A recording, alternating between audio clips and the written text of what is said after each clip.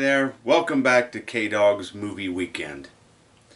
Well, this weekend in particular, it may not be exactly uh, a, a, fully filled weekend of movies that, uh, that, for you to check out and watch. That's the thing, you know, uh, I'm going to watch these movies and then uh, you can go check them out yourself, you know, see what you think and I give my opinion, my review, and just go from there. Well, tonight, um, again, first of all, this weekend may not be uh, a full on full a weekend of movies because I have a busy schedule, particularly this weekend. I have some things I got to do, um, particularly on Saturday night, and so um, we may get one in the afternoon, but uh, who knows? But uh, who again, who knows what's going to go on. So, but but tonight we are going to get a movie in. Um, we're actually going to go to the theater.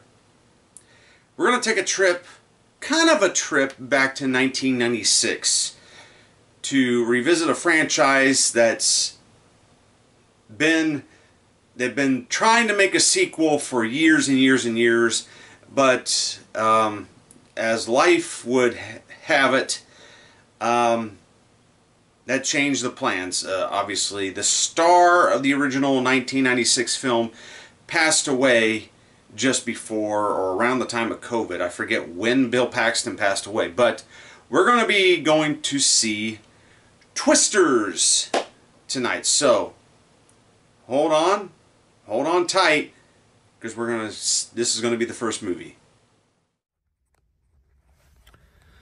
Okay, so we are at the AMC Classic 12 this time around.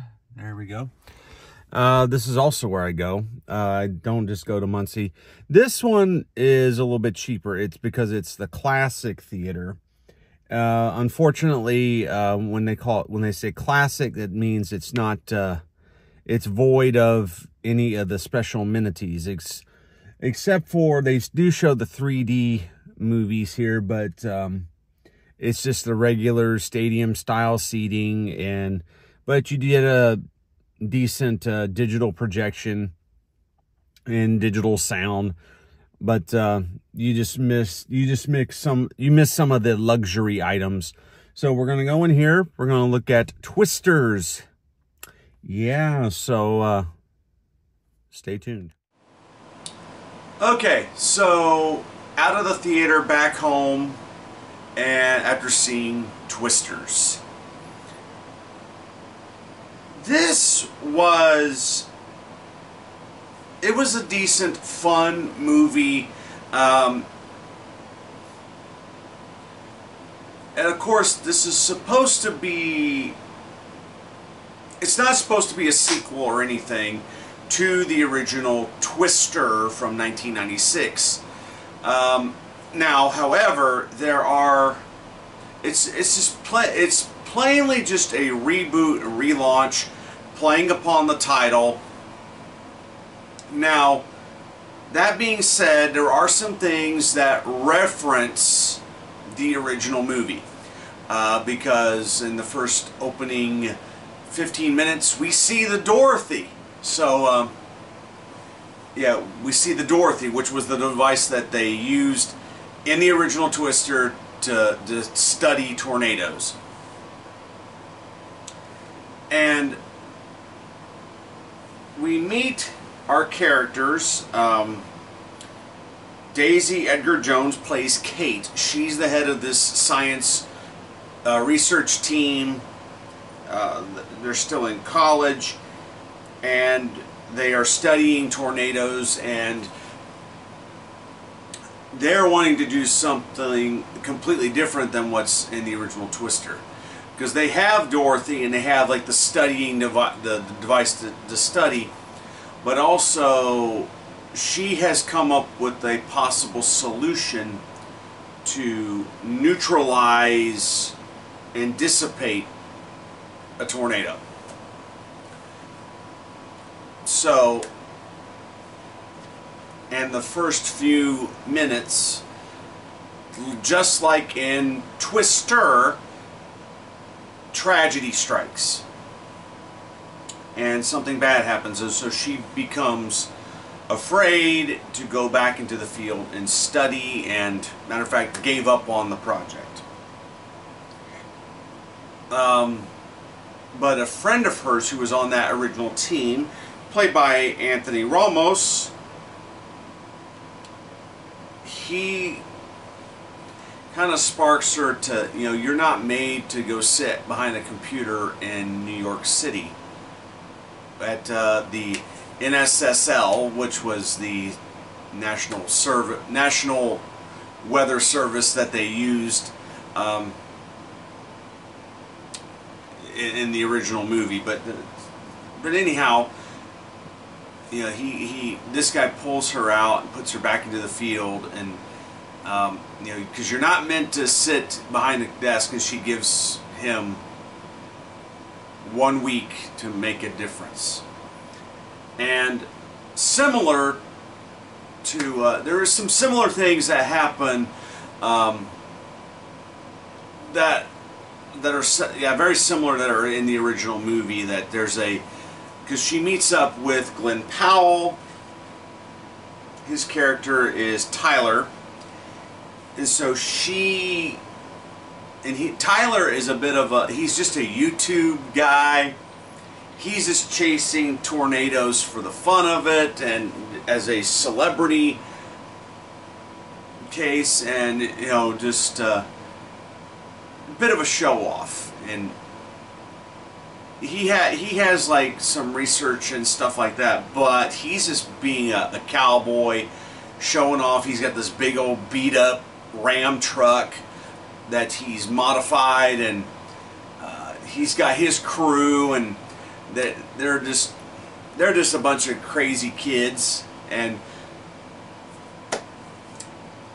they're not really kids, but they're they're, they're crazy people. I'm just going to say that you know you're crazy if you want to go out and chasing tornadoes.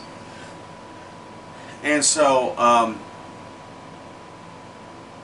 Tyler and Kate end up uh, hooking up and coming together because Kate realized that her realizes that her friend has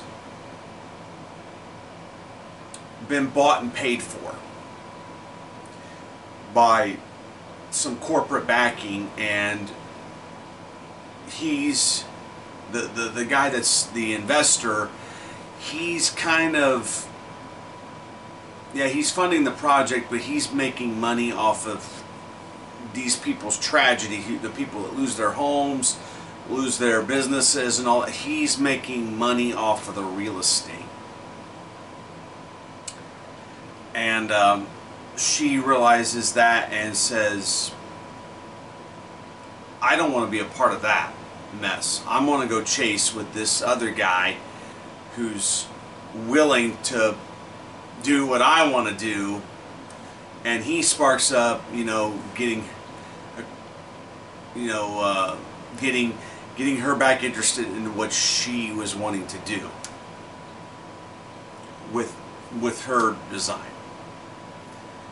And and of course there's a relationship that builds up between Kate and Tyler and it's so it, it is kind of um, there is character and I will say that there's characteristics between Kate and Tyler that are very flashback to Bill Paxton and Helen Hunt. Uh, because there's there's elements of both, really, because Kate has elements where there's elements of Helen Hunt, is that she experiences this tragedy with an F5 tornado, and then um, where she has the Bill Paxton side is that there was there was some bad things that happened and she doesn't want to get back into the field because of that personal tragedy. Now Tyler, where his where his Bill Paxton side is, you know, obviously um, driving the big red truck, big red Ram truck, Plus, he's the one that kind of gets her to rethink how they're doing things. Like, like uh, because there's the relationship thing. Like you know, I'm sorry that you know you went through this, but you need to we need to move on. And then where he's a bit Helen Hunt is that he's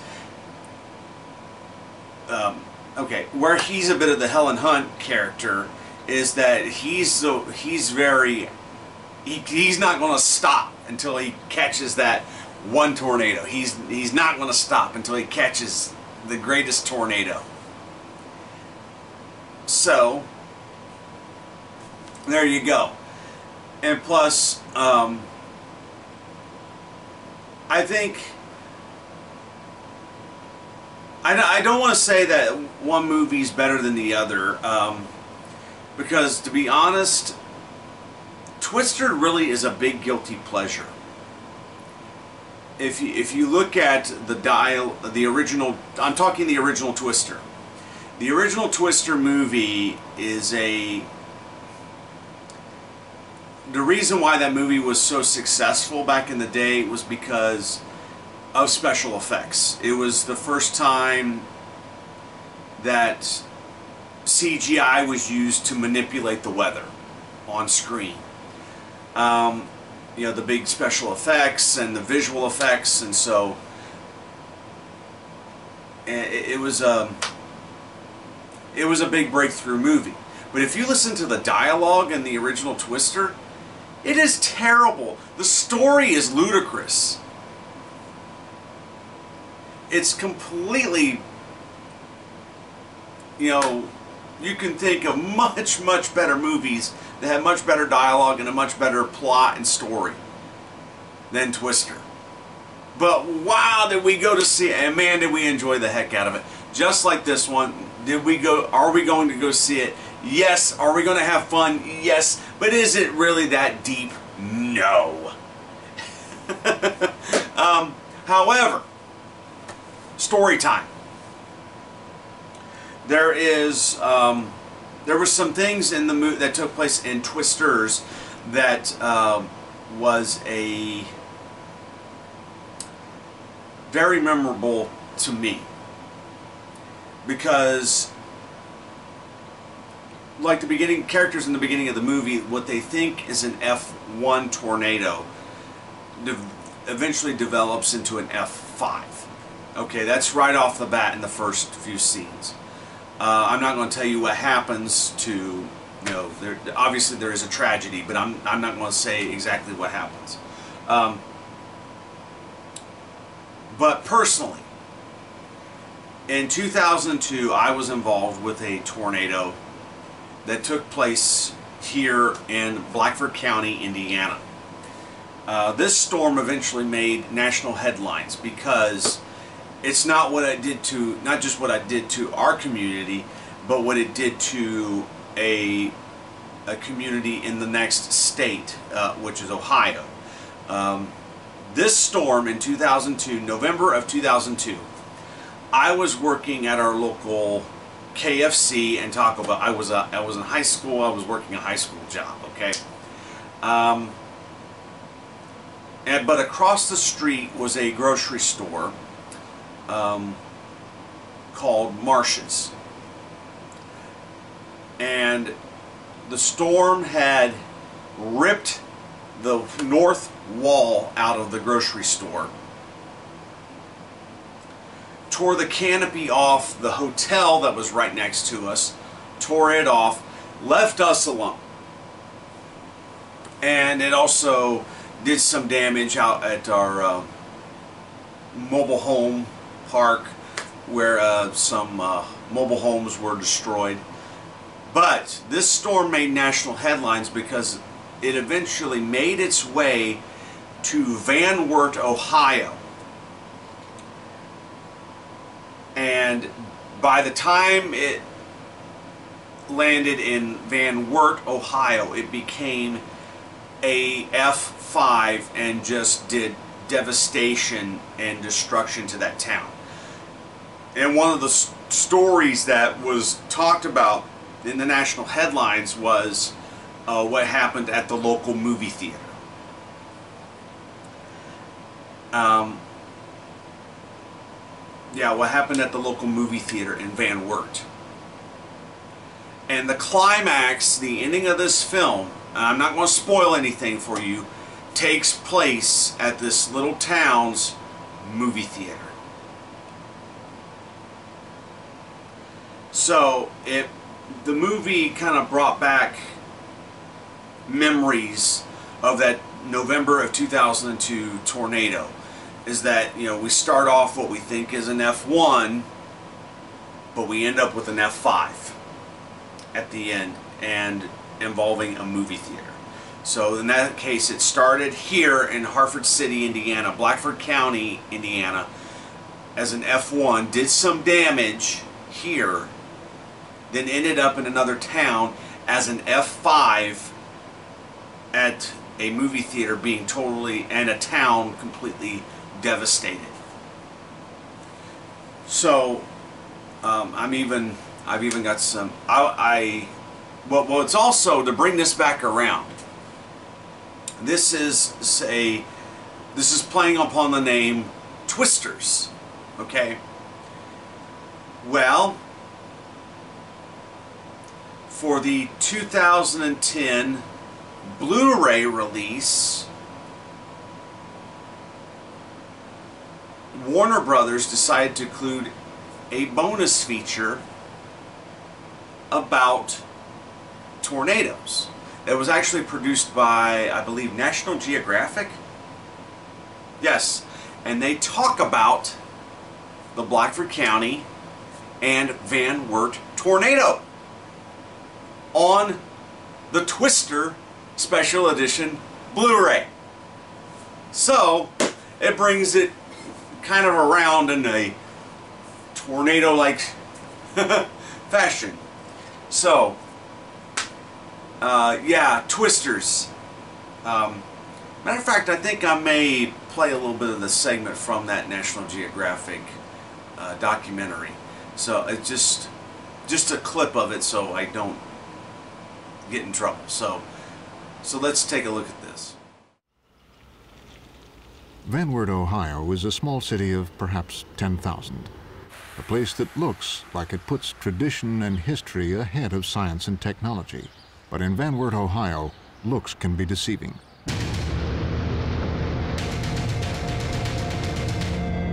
Busher 449, this is you. Oh my God. It's huge. Engine 3, we're back on fire band. Just reporting we have a visual on this funnel cloud. In November 2002, the entire constellation of our most advanced tornado technology came together to save lives in Van Wert. Scott Schaefer was manager of the town's Twinplex movie theater on the day the tornado struck. Living in Van Wert, we uh, joke around a lot around town that you know, we always get missed by the storm. It always goes around us. But as the theater's wreckage shows, the storm did not go around Van Wert that day. What happened here became a focal point in a story of Van Wert's close call with death, as a monster tornado roared on a destructive path directly through the community. I had a feeling that morning that something was going to happen. It was a feeling that, uh, that was in the air. Rick McCoy runs the Emergency Management Agency for Van Wert County. The county has been certified under the Weather Service's new Storm Ready program. Certification means Van Wert is making best use of the full technological spectrum. On November 10, 2002, it all went to work.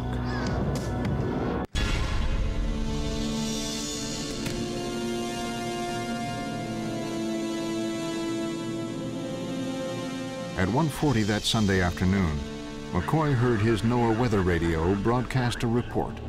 The Storm Prediction Center in Norman, Oklahoma was issuing a severe thunderstorm watch for the Van Wert area.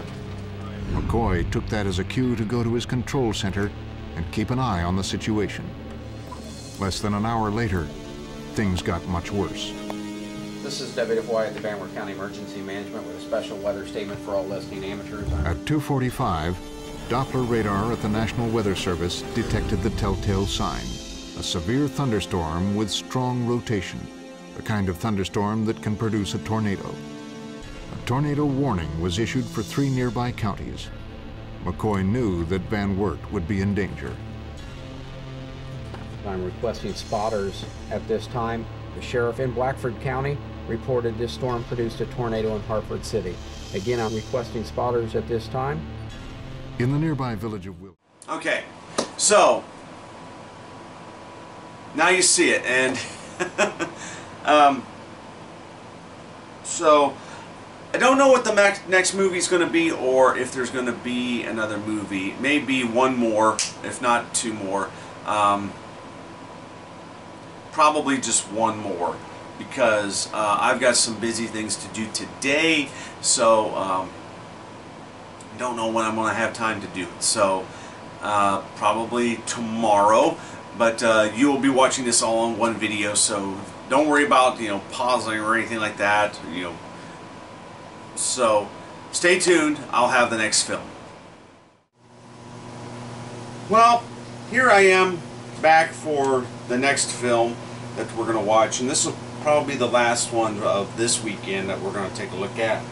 Um, this is a film I ordered uh, quite some time ago, never had a chance to watch, and of course, this is a film from 1971. I've never, uh, I've always read about this film, or was, or uh, seen about it, and this always turns up on one of the greatest uh, thrillers and sometimes horror movies. But it's not that type of horror movie. It's just a straight up shocker and thriller uh, from Clint Eastwood. Again, from 1971. Also, I believe he directed this film. Yes, uh, yes he did, and as uh, directed and starred. And it's Play Misty for Me. Yeah, this film tends to turn up a lot on uh, like uh, some of the greatest uh, shock moments and always turns up on those lists on YouTube. And so um, I have yet to see this film. Uh, so all I know is that Clint Eastwood plays uh, a, a, DJ in this film and he's involved with this woman who is or may not be what she says she is. And so, um, yeah, we'll take a look at this from 1971, directed by Clint Eastwood, released by Universal Pictures. It's Play Misty for Me. Okay, so Play Misty for Me, directed by Clint Eastwood. From 1971, released by Universal wow, this movie was quite interesting, and the, okay, let's just let's just get into it. This is very much a psychological thriller, um, and it's usually I don't see that a lot in Clint Eastwood movies. Um, not to say, you know, obviously he hasn't done them, but a lot of the movies I've seen of Clint Eastwood, it's never been a thriller type. It's either been a, a drama or it's been some. Yeah, it's mostly been like a dramatic or a. I don't know how to how else to describe him, but you know, he's you know very dramatic in his storytelling. But this is a case where it was an earlier direct directed movie by him. Um, and of course, the film stars Clint Eastwood as this disc jockey, uh, Dave Garver. Um, he's this popular jazz DJ uh, who works the graveyard shift, and but uh, but uh, he he has quite a popular reputation for doing the night shift because you know it's I, I yeah, he's playing jazz mostly or instrumental music, and so that would appeal to the nighttime people who are, um, you know, like lovers and stuff like that. You you get the picture what I'm talking about. Well, he keeps having this woman call him every night, and sh basically a very devoted fan, and she keeps calling and requesting the song Misty. And of course, he gladly plays it every night. And then he, one night, goes into a bar. He runs into the woman. And they uh, just introduce each other, go back to his place for what they would used to call a little nightcap, and we find out her name is Evelyn, and Evelyn is played by Jessica Walter. Um, but as things go on, Evelyn displays some very unusual behavior. She she thinks that uh, that Dave is the most beautiful thing she's ever seen. She's in love with him, but Dave is actually in love with another woman. Uh, but but Evelyn doesn't take the hints that hey, I'm not interested in you. I don't want to go any further. I appreciate your fandom, but Evelyn doesn't it doesn't go through Evelyn. It's just like well, it's like well, if I can't have him, nobody can. Basically what it turns into. And she sh- she shows up to the house and she does all this crazy stuff that's just insane. Just insane. I mean this you you would be like calling the cops from the moment go.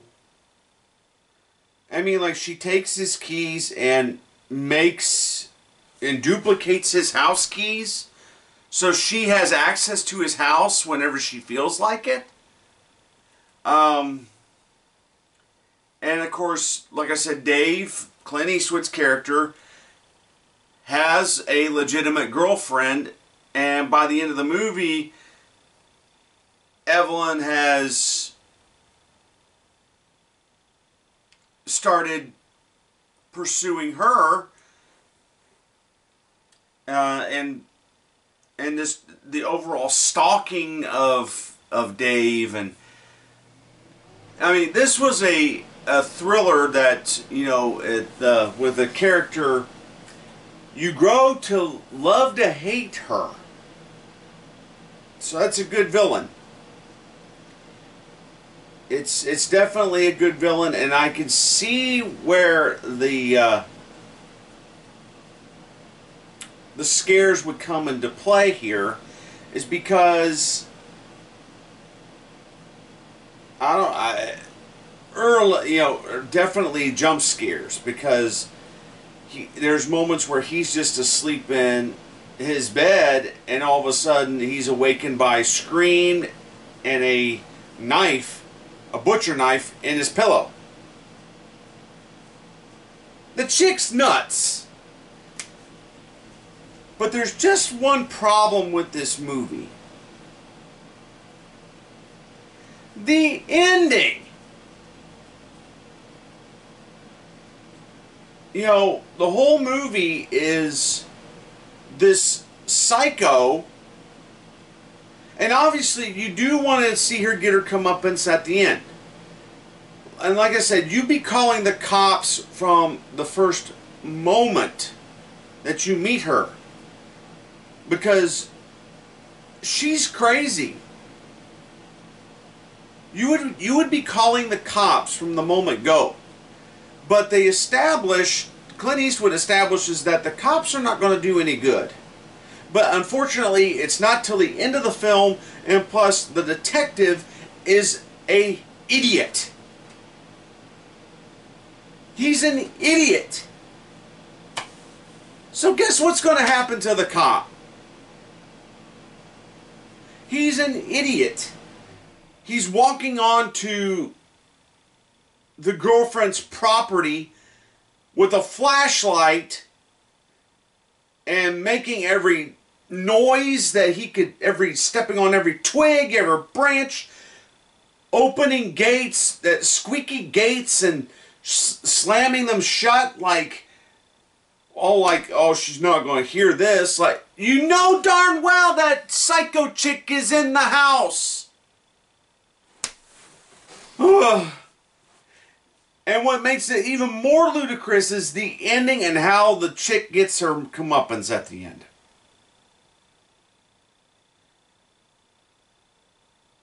If that's what it took, you should have done that crap a long time ago.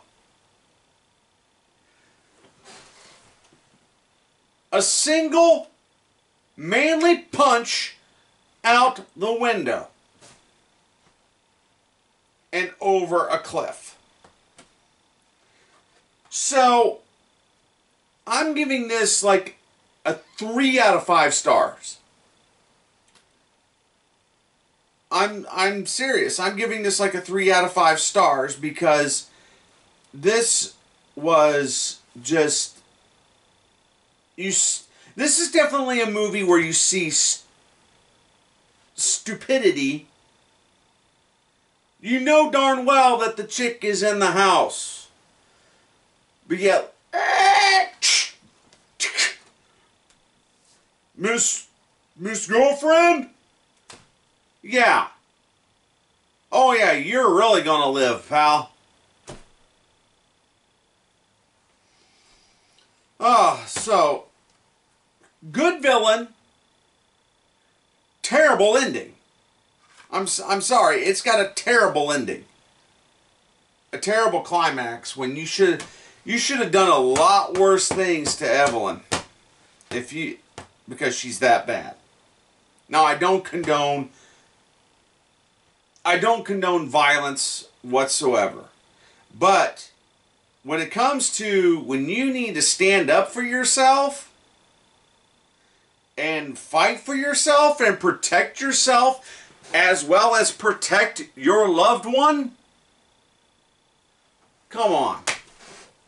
Really? This chick is coming at you with knives, scissors, and a machete. But yeah, how do you defeat her? Really? But anyhow, I digress that was play Misty for me.